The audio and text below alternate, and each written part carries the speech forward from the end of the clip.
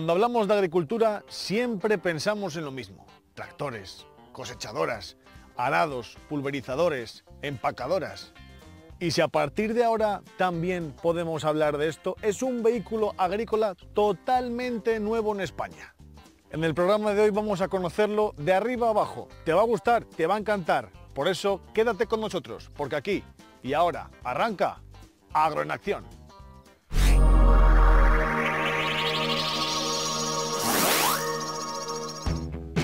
En el programa de esta semana vamos a analizar algo muy novedoso en el mercado, el nuevo vehículo agrícola de Tatra. También nos presentaremos la empresa Paiki, que nos ha preparado dos de sus aperos más icónicos. Y por último, Valdemoro nos narrará la historia de su John Deere más antiguo,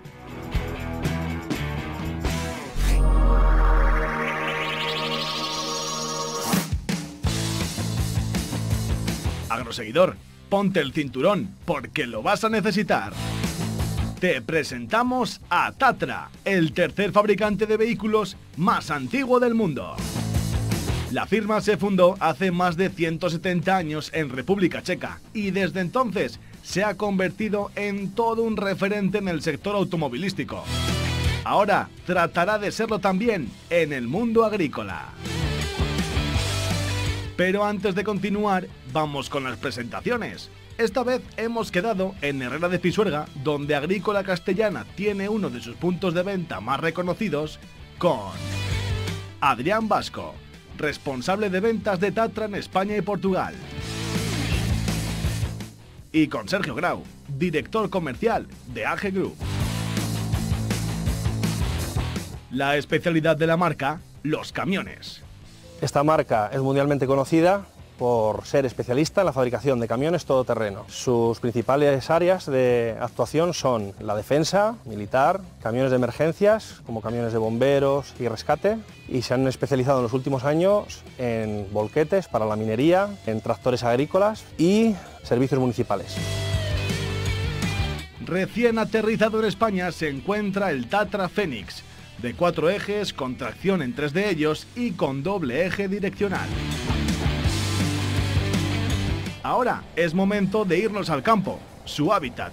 Tenemos muchísimas ganas de comprobar cómo se comporta este vehículo agrícola de Tatra por los caminos y las tierras de Castilla. Este es, a los seguidores, el nuevo vehículo agrícola de Tatra. Comodidad y rapidez están garantizadas con este vehículo en cualquier labor en el campo. Analizaremos este modelo con 430 caballos de potencia, que viene equipado con esta caja multiusos de la marca Stratman. Es la Perion 2401 con 42 metros cúbicos de capacidad. Con el objetivo de trabajar en largas distancias, sus neumáticos asumen un papel fundamental. Son más económicos que los de un tractor tradicional y disponen de varias opciones. Desde eh, anchuras 445 hasta anchuras 600, con un dibujo no muy agresivo y muy válido tanto para el asfalto como para el campo. Todos los neumáticos tienen un índice de carga superior a 5 toneladas por neumático, lo cual hace que en cada eje tengamos entre 9 y 11 toneladas y media de masa máxima técnica por eje. Con esto alcanzamos masas máximas autorizadas de hasta 43 toneladas. Otra parte importantísima de este vehículo es su suspensión. Se trata de semiejes oscilantes que son totalmente independientes en cada rueda y usa un sistema de suspensión combinado entre balonas neumáticas, muelles helicoidales interiores y cilindros hidráulicos. ¿Y con esto qué se consigue? Una alta velocidad en campo, con mucho confort para el conductor y sobre todo una durabilidad y, eh, y una fiabilidad extra a todo el conjunto del vehículo por las bajas vibraciones que se transmiten del suelo al, al equipo. Ahora, los frenos de tambor. Como todos los vehículos de este tipo, pensados para circular eh, en condiciones de barro, mucho polvo, etc., cuenta con frenos de tambor en todos los ejes, con sistema ABS y eh, asistentes de frenada, como son, por ejemplo, el freno de válvulas MX, comúnmente conocido como freno motor, y en opción también tenemos el retardador hidráulico en la transmisión. La transmisión tiene varias opciones. En las transmisiones primarias, la caja de cambios principal, podemos elegir entre una ZF EcoSplit de 16 velocidades de accionamiento totalmente manual. Podemos elegir una ZF Traction, que es una caja de cambios automatizada, también en 16 velocidades.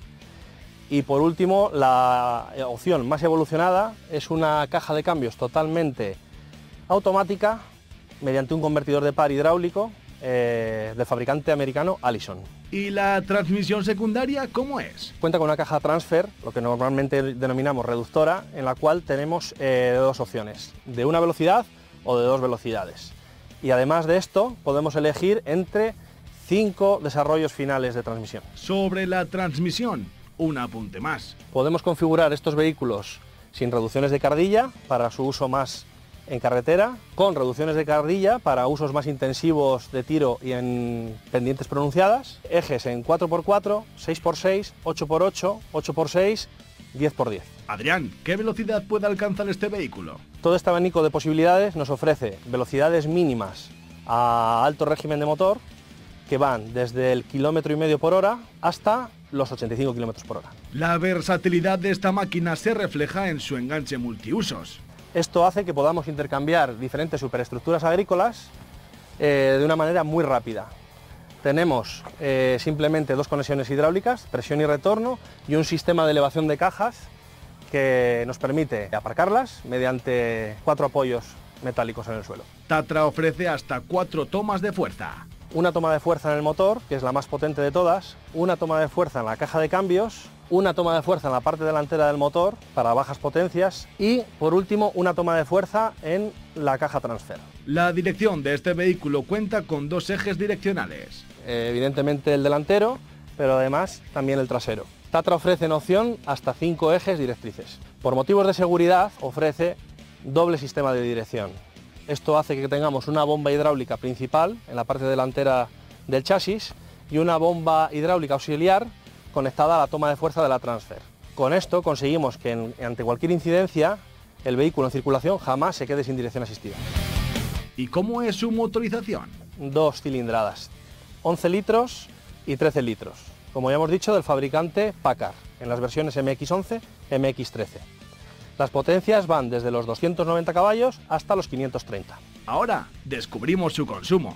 Si nos centramos en el consumo, el motor más potente de Tatra, el MX-13, en 13 litros, con 530 caballos, en una versión de chasis rígido de 43 toneladas de masa máxima autorizada, a pleno rendimiento, eh, eh, tenemos diferentes estudios en los cuales no se ha llegado a alcanzar un consumo medio por hora de 15 litros. Ha quedado ligeramente por debajo. Vamos a meternos de lleno con la caja que viene acoplada a este vehículo. Es de la marca Strautmann, un reconocido fabricante alemán de maquinaria agrícola. El modelo que observamos es el Aperion 2401 con 42 metros cúbicos de capacidad. Es una caja multiusos con piso móvil de transporte accionado hidráulico a través de una banda de goma de, 10 milímetros de espesor. Diseñada principalmente tanto para graneles como para productos eh, sensibles como pueden ser patatas, como para ensilaje o transporte de insumos agrícolas para el agricultor. Pero hay más características. Estamos hablando de 42 metros cúbicos de, capacidad, con laterales fabricados en material plástico reforzado para reducir la tara del, del conjunto. Tiene un equipo de balderas abatibles que en opción se pueden montar abatible hidráulico o telescópico para facilitar la carga en el campo tanto por telescópicas o, por palas cargadoras. ¿Y cómo funciona? Funciona accionado con el sistema hidráulico del vehículo agrícola. ¿Y su chasis cómo es? Está montada sobre un chasis galvanizado, sujeto con enganches twist lock para poder desconectar la caja del, del, vehículo. La puerta trasera tiene un cierre estanco para que no derrame nada por la carretera. Y claro, es hidráulica. Viene equipada con una botella de doble efecto con dos funciones claras. Una es abrir y cerrar obviamente la puerta y la otra el bloqueo de seguridad para el transporte en carretera. Y hay más opciones. Con compuerta hidráulica telescópica para descarga de productos como pueden ser patatas o fruta para no dañarlos en el, proceso de, de descarga y también existe la opción de una puerta con un sinfín trasero de alta capacidad para poder utilizar esta caja como un transbordador. Ahora vamos a ver cómo es el interior de la caja, sin obstáculos que entorpezcan la descarga. Aquí podemos ver la cinta, la cinta de transporte que hemos comentado antes, con sus sistemas de nylon de limpieza. A mayores tiene un rodillo interior con un cepillo que va limpiando, va limpiando la cinta continuamente para que no haya problemas de que, de que trague material de la descarga y lo meta, y lo meta dentro. La cinta va apoyada sobre rodillos sobre rodillos con rodamientos sin mantenimiento que están colocados a unos 30 centímetros de separación entre ellos, que son los que le dan el apoyo, el apoyo al, movimiento de la, cinta de goma. Straumann da tres años de garantía en lo que es la cinta. Y ojo, que el interior de la caja tiene más detalles. Se puede ver en el fondo la pared perforada con una especie de cristal delantero de metraquilato que es permite poder cargar graneles. También se puede ver los dos laterales inclinados que son los que, nos, los que evitan que toda la mercancía caiga sobre la cinta y no, se, y no se cuele entre lo que es la cinta y la parte, y la parte interior del, del bastidor. Y en la parte frontal delantera superior podemos ver la compuerta abatible, que es la que se utiliza para hacer cargas de ensilado en campo.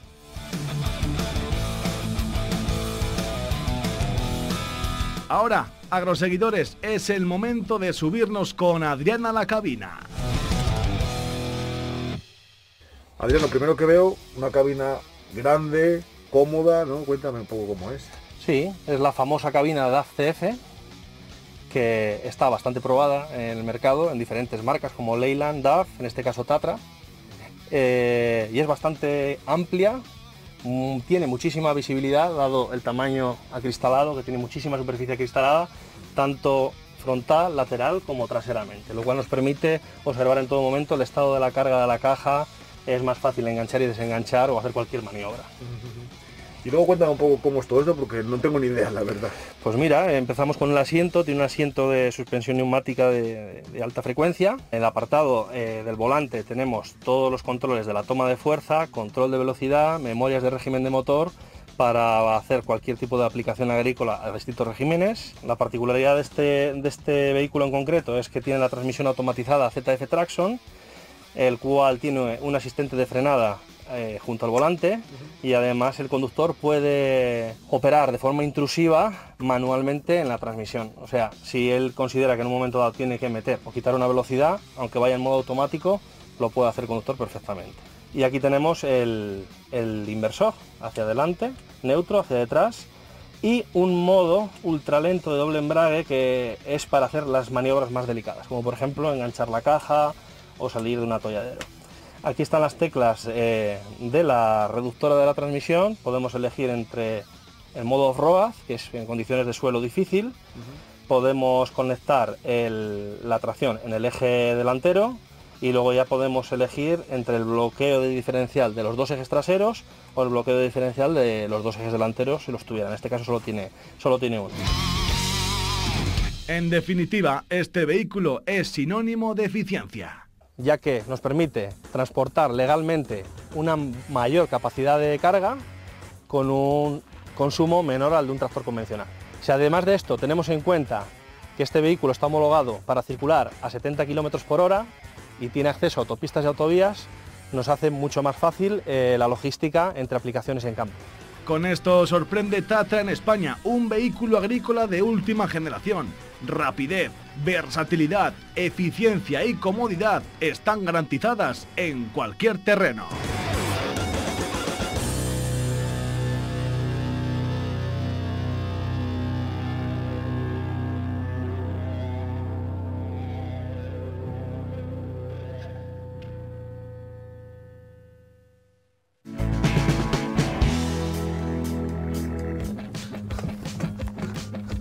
Hola, soy Alberto Agúndez, soy de Santa Rosa de Campos y este es mi tractor Valtra T194. Pues tiene 185 caballos, eh, el cambio es Power Shift, y se puede poner automático también y es un tractor que, bueno, estoy contento con él. Pues le uso para todo, para sulfatar como está ahora mismo, para sembrar, eh, en siembra directa, maíz, girasol, todo. Para labrar también, para todo le uso para todo. Eh, sí, el tractor tiene tripuntal, tiene suspensión delantera, tiene suspensión en cabina, está bien equipado. El tripuntal pues le utilizamos pues ahora para llevar el agua, que luego lo trasvasamos para la sulfatadora atrás y nada, para la pesa también, porque no tiene toma de fuerza adelante.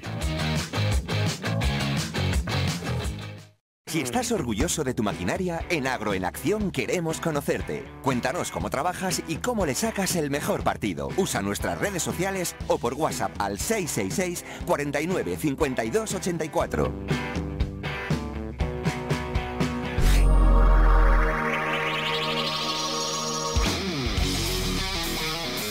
Viajamos ahora hasta la provincia de Palencia para presentaros en Villaherreros a Paiki, una empresa que conoce a la perfección el trabajo con los hierros.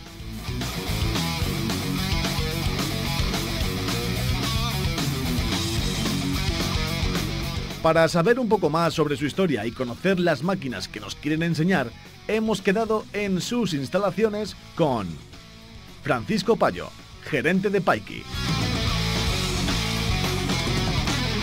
Empezamos a trabajar en el 2007 y nos dedicamos a hacer maquinaria agrícola y estructuras metálicas.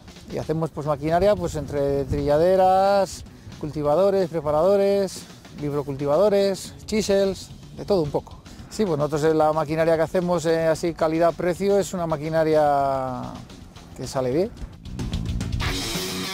Pero, ¿qué tenemos hoy? A los seguidores, este es el cultivador de Paiki. Tiene 6 metros de ancho y viene equipado con hasta 51 brazos en cuatro filas de trabajo. Y como cada vez ya es más habitual, los brazos no tienen ballesta, ahora vienen equipados con elastómeros.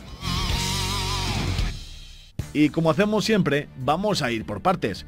Empezamos por la estructura. Queremos saber cómo es el bastidor de este cultivador de Paiki. El, el bastidor está hecho con tubos de 140-66 y 60-64. Sí, no ha, dado, no, no ha dado problemas de nada. Lo tenemos ya bastantes hechos por ahí y nada, no. Uno de los elementos más importantes en este tipo de máquinas es el enganche y la torreta. Lleva la, la torreta y el enganche va todo en una pieza, de adelante a atrás, con los tubos pasantes. No lleva ninguna soldadura. Los 51 brazos que equipa este cultivador ya vienen diseñados con la última moda del sector. Cultivador que está montado ahora ya con brazo 20-20 en, el, en elastómeros. También hacemos otros cultivadores con brazo 35-35, otro de 30-30 que es el de viñedo. Podemos meter reja cavadora, re- reja golondrina. Sí, estos son los modelos nuevos que hacemos de brazos de elastómeros, que se están, se están haciendo ahora muchos, están montando más que los brazos que se montaban antes. Ya en la parte más trasera, en el segundo cuerpo de trabajo, el rodillo. En este caso, Paiki se amolda a las exigencias del agricultor. Los rodillos nos piden de todas medidas, de pletina de 300, de 350, de 400, cada uno, cada agricultor por lo que le, le- que le convenga mejor a él. Les hacemos en pletina, 40-10, en F114, en redondo de 25 también, en F114, ¿Y la rastra? y la rastra, pues doble rastra, triple rastra, eso ya es- también depende del- del agricultor lo que requiera. Y por aquí se encuentra también el control de profundidad. Al control de profundidad pues se le maneja con el- los bulones que lleva aquí donde el, donde el rodillo. Y ya solo nos falta saber cómo es la apertura y el cierre de este cultivador. Sí, para plegar pues se utilizan bombines hidráulicos. Si son de en tres piezas lleva dos bombines, en dos piezas suele llevar uno, otros también llevan dos, depende de modelos. Viene el ala con curva para liberar la torreta, para plegar totalmente horizontal. Es más cómodo para el transporte. Pues nada, Paco, ya hemos analizado este cultivador y veo aquí esta otra máquina que es diferente. Cuéntame qué es, que no lo sé. Sí, esto es una, este es otro apero diferente, esto es una trilladera. Esto lo utilizan pues para mm, romper los tabones, para molerles, para que quede más fino el terreno, para luego para, para sembrar. Y esto, Paco, son cuchillas, clavos, lo llamáis, ¿no? Sí, los clavos son, son cuchillas de llanta de 50-15 en F114, que es más acerado. Y, va cogido pues con tornillos, como lo estáis viendo. Antiguamente iban soldados al- al- al- a los maderos por la parte de abajo. Y ahora, pues para evitar ir al taller, cortar clavos, volverles a soldar, pues esos tornillos los aflojas, sacas la cuchilla para abajo la profundidad que tú quieras, los vuelves a apretar y ya está. El día que se gasten, les has acabado de sacar, pues es coger, quitar, meter cuchillas nuevas y ya está. ¿Y esto que tiene al final, qué, qué es, Paco? Esta es la tabla, la tabla niveladora. Entonces est- esto lo que hace es, es que cuando va trabajando, van los clavos van moliendo los tabones, van rompiendo no, el terreno, entonces esto te lo va dejando cerrado, cerrado, cerrado. Entonces los clavos no se quedan marcados. Entonces el, el terreno queda cerrado, no se, no se ventea, te- vamos a tener mejor nacimiento. Queda muy bien, es lo mejor de la máquina. Y luego también veo dos ganchos, no sé si son para cuando se pliega para ir por carretera. Esto es una, una rastra de 7 metros en tres piezas y entonces lleva esos, esos cierres hidráulicos, esos ganchos para seguridad en transporte, pues si se rompe un latiguillo o pasa algo, pues para que le, seguridad que no, que no se caiga y no pega un coche o a alguna persona. o-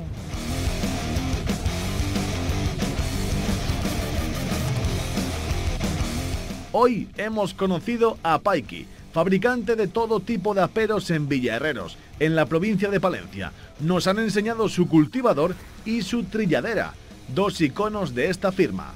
Sencillez, calidad y buen precio al servicio del agricultor.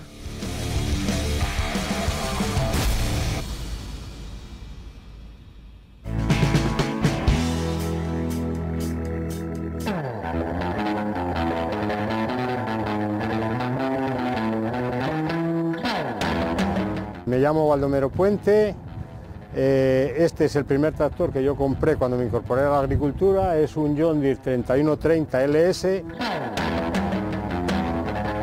Fue cuando John Deere empezó a traer tractores de importación. Este es alemán. El tractor tiene 97 caballos. El motor es un motor John Deere de 6 cilindros. Tenía entonces un avance que era el, el variador para según vas trabajando poderle reducir la velocidad y aumentar la potencia del motor. La verdad es que a mí me ha dado un resultado fabuloso, el tractor tiene 43 años, funciona todo perfectamente. Para lo que lo usa mi hijo es para mover paja o, o con la pala cargar abono o cosas de esas. Llave de contacto, manómetro de temperatura, filtro de aire para cuando se obstruye, alternador, eh, grupo, aceite del grupo, eh, aceite del motor, luz largas y cortas y depósito de gasoil. Intermitencias, este es el variador, largas y cortas, acelerador de mano, acelerador de pie, palancas de cambios y toma de fuerza que es hidráulica.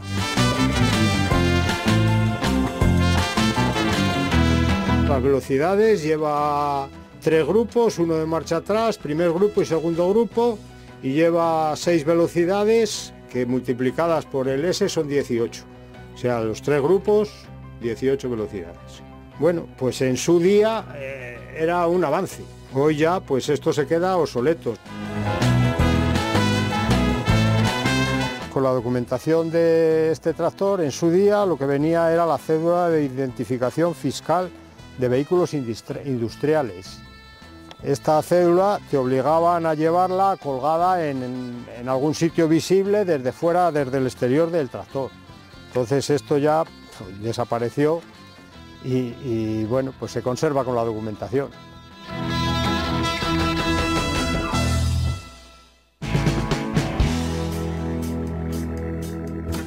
Muy buenos a ti también, Roberto. Este simpático agricultor de San Esteban de Zapardiel, en Ávila, nos enseña cómo tira abono con el modelo Copa de la marca BMC. Su tractor, un Ford. Desde San Cebrián, en Valladolid, nos llega este vídeo de Rubén. Ahí lo vemos cómo labra sus tierras con un Masi de 180 caballos que lleva enganchado un cultivador de 5 metros. Y mirad este último vídeo que nos ha enviado Virginia desde Santa Cruz de Boedo, en la provincia de Palencia. José se atascó con su John Deere 6930 y necesitó que dos tractores tirasen de él para sacarlo.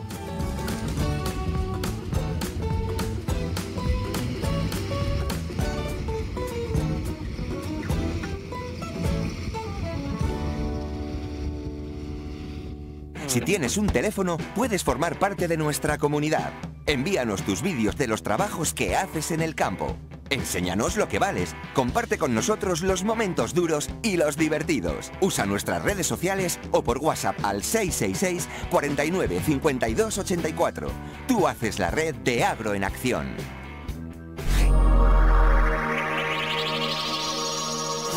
Y hasta aquí el programa de esta semana, pero tranquilos agroseguidores que todavía tenemos muchas cosas que contaros. En el próximo programa descubriremos la nueva sembradora de monograno de Solá. Tiene hasta 13 líneas de trabajo. También conoceremos la empresa Aguastenias, que nos ha preparado una de sus cisternas más impresionantes. Y en las secciones mucho John Deere. Agustín nos enseñará con el que trabaja a diario en Castro Nuevo y José Luis nos contará la historia de uno de sus tractores más antiguos. Nos vemos, agroseguidores, que el tiempo nos acompañe. Adiós.